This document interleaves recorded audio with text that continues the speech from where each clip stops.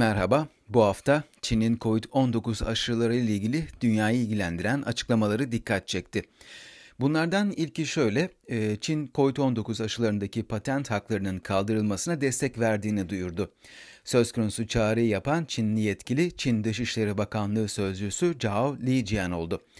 Zhao Lijian birçok gelişmekte olan ülkenin COVID-19 aşıları üzerindeki patent haklarının kaldırılması teklifine destek verdiklerini belirtti.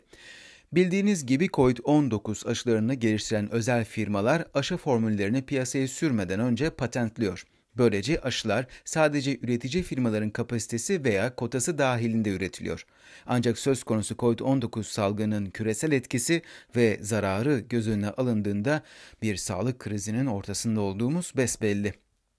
Ve aşıların tedariğindeki bu yavaşlık ülkelerdeki aşılanma oranlarının düşük kalmasını etkileyen faktörlerden biri. Bu sebeple dünyanın birçok ülkesinden COVID-19 aşılarının patent haklarının kaldırılmasına yönelik sesler yükseldi. Ancak batılı aşı üreticileri bu konuya sıcak bakmıyor. Kendi kazançlarını maksimize etmeyi daha ön planda tutuyorlar. Çin ise dünyanın her köşesinden gelen COVID-19 aşılarındaki patent haklarının kaldırılması talebini kısa sürede desteklediğini duyurdu. Covid-19 pandemisinin henüz bitmediğini ve aşıların dünyanın pandeminin üstesinden gelmesinde önemli rol oynayacağını ifade eden Çin Dışişleri Bakanlığı Sözcüsü Zhao Lijian, Çin dünyadaki en büyük gelişmekte olan ve sorumlu bir ülke olarak gelişmekte olan ülkelerin salgınla mücadele çalışmaları için her şeyi yapmaya hazırdır dedi.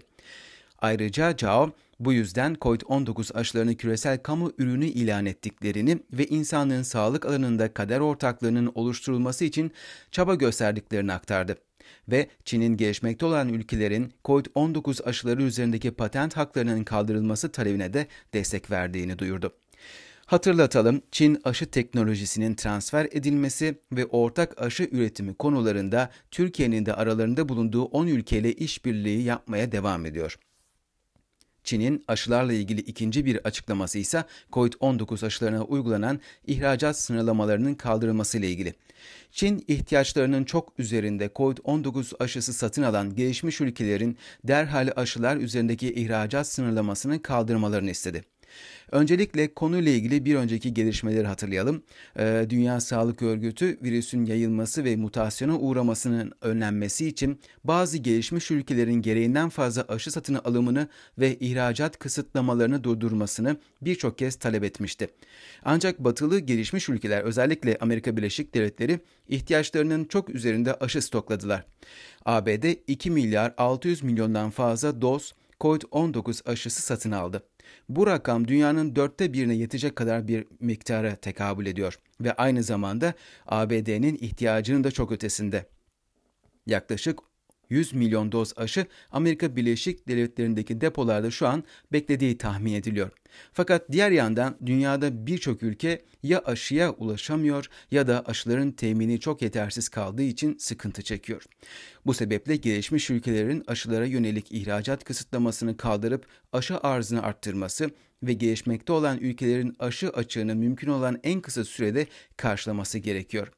Ee, Çin Dışişleri Bakanlığı Sözcüsü Zhao Lijian, Çin'in birçok gelişmekte olan ülke tarafından ileri sürülen COVID-19 aşıları üzerindeki fikri mülkiyet yani patent haklarının kaldırılması teklifine destek verdiğini hatırlatarak şu anda esas meselenin gelişmekte olan ülkelerin aşıları nasıl adil bir şekilde tedarik edebileceğinin olduğuna dikkat çekti.